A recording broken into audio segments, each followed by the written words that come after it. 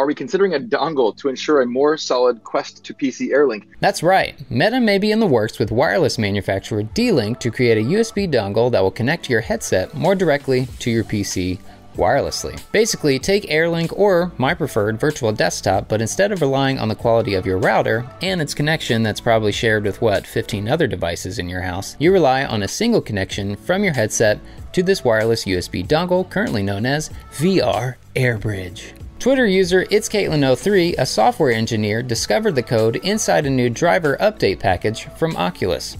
Caitlin believes the VR AirBridge is based off the D-Link AX1800 Wi-Fi 6 USB adapter that currently sells for $65, which basically gives your PC an external Wi-Fi card. This Meta dongle, on the other hand, would basically do the same thing, but a direct connection from your Quest to your PC.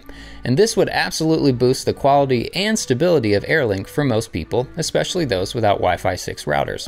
This dongle was actually alluded to back in 2021 during a Twitter Spaces conversation with Oculus CTO John Carmack and VP of Reality Labs Andrew Bosworth. So let's take a listen. Are we considering a dongle to ensure a more solid Quest to PC Airlink? That's funny we started with a dongle. We call it Link, and AirLink is a evolution on that for people with at least good enough wireless connections, which I think is a lot of people in our community. Is what we hope that they're going to use is just AirLink. But for those who need the stronger connection, you can either buy an Oculus Link cable from us, or any number of, of USB-C 3.1 cables. I actually think that was more around the line of a Wi-Fi specific dongle, which of course we uh, have yes. a uh, long and sordid history internally oh, of arguing about, where internally this started off a direction that I thought was just going to be a disaster. Where we've had these arguments where first it was like Link's a bad idea, the quality is going to be lower. Then it's like, well, you can't just do AirLink. We know the quality is going to be even worse, but maybe if we design and sell a $200 special Wi-Fi dongle that has custom firmware where it would be okay.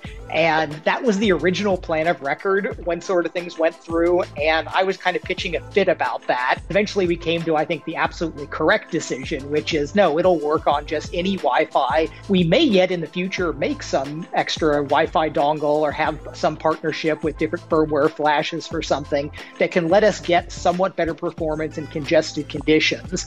But you know, I always pointed to uh, the virtual desktop work where we have an existence proof. I kept saying, literally, right this very second, there are thousands of people using that and getting value from it. Clearly, it's okay. So, this is again one of those things the right thing happened in the end. It's all good. We're not requiring it. We may yet do something in the future uh, if we get lots of people using this and it looks like there's a market for it to do some higher end boutique dongle that improves performance a bit.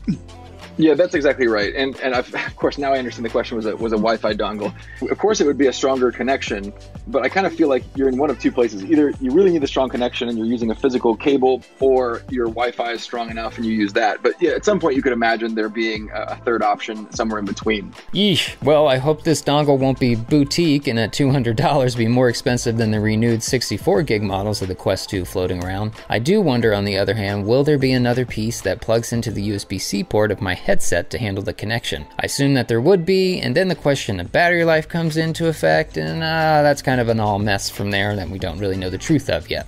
But at the end of the day, this is all conjecture, though it could be very promising for the future. If you found this interesting, maybe you'll like these videos here, and I'll catch you in the next one. See ya!